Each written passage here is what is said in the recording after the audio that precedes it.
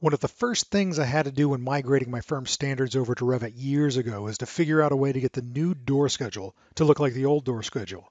The issue, as many of you know, was that the height and the width and the thickness fields were all separate columns and couldn't be automatically combined in the schedule. So for this and many other instances, we had to find workarounds to get that single column with the data from multiple columns. It was nine times out of 10 a manual process, and that of course leads to errors and confusion and just mess ups down the road. Revit 2017 has a great new feature that lets you build a combined parameter out of any other parameter in your schedule. So for my problem from 10 years ago, I can now go to Fields.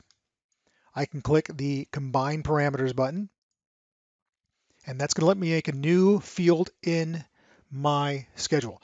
Up top, I'm just going to call it door size, and then any parameter that is associated with the category in the schedule, I can find one of their parameters and just migrate it on over. So I've got my width and I've got my height and I've got my thickness. I can add a suffix, I can add a prefix, I can add a separator. So in this case, it's going to be space X space, space X space, and then nothing there. Get a nice preview down here at the bottom of what it's going to look like.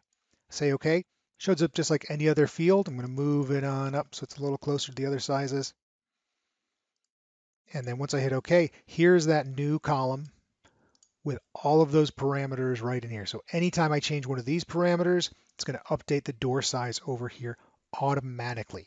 Now, the units for these are going to be based upon your default project units, but if you need to override these, you can put one of the individual columns in your schedule you can go to your formatting. So in this case, I'll just go to height and I can change the field formatting right here. See, right now it says use project settings, but if I override one of the individual fields that builds up the overall field, and we'll just go ahead and set this to centimeters just to show you. You'll notice the height column is now that overridden field, but also the combined parameter looks to the local schedule to see what those field settings should be.